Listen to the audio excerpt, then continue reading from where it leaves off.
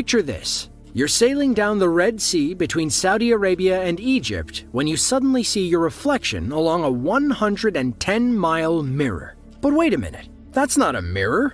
Instead, it's a 1,600 foot tall, 660 foot wide, 110 mile long building. And there's another running parallel on the other side. What you're currently looking at is Saudi Crown Prince Mohammed bin Salman's NEOM project, better known as The Line. Some may call it the sustainable city of the future. Others think it sounds a little dystopian. The $725 billion city will run on nothing but sustainable energy. There won't be any cars either. Instead, the MBS imagines a high speed underground train that can get you from end to end in 20 minutes flat. Residents will enjoy a lush outdoor landscape between the two mirrored buildings.